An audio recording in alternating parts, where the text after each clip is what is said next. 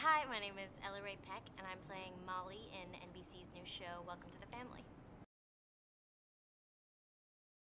Welcome to the Family is about uh, two kids who graduate from high school. They're madly in love, and they find out that um, the girl is pregnant. And uh, so it's sort of about their two very different families coming together and trying to work out their differences and create some sort of uh, bond that's going to be conducive to raising a child. Well, Molly is an only child, and she comes from a uh, like upper middle class white family in uh, Los Angeles, and she's I think in the character description she's described as lazy brained. And um, just kind of the thing that I like about her is that she's she's she doesn't apologize for anything. She sort of lives in this world, and she thinks that um, everyone else lives in the same world too. So she's confused anytime someone disagrees with her. Um, and uh, she's not. Uh, she um, has very strong opinions about uh, about women's rights. She's a self-proclaimed feminist, but she's not always um, her facts aren't always accurate, uh, but her heart is in it. And um, she's really just kind of young and, and bright and full of energy and totally loves Junior, her boyfriend, and um, is kind of indifferent to her family.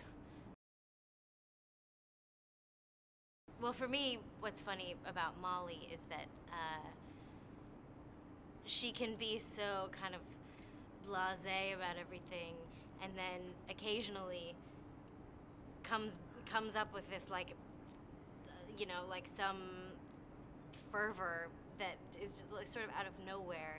Um, and so i don't know the, the, that the contrast there is interesting and funny for me i think. And uh, um, and then just mike o'malley is hilarious. We've had a couple table this is our first day shooting so we haven't done I haven't seen a whole lot but we've had a lot of table reads and some rehearsals and it's like he's just one of the most creative people i've ever met. He's like constantly coming up with new stuff and is just um, totally natural and great, and um, so that's a big thing.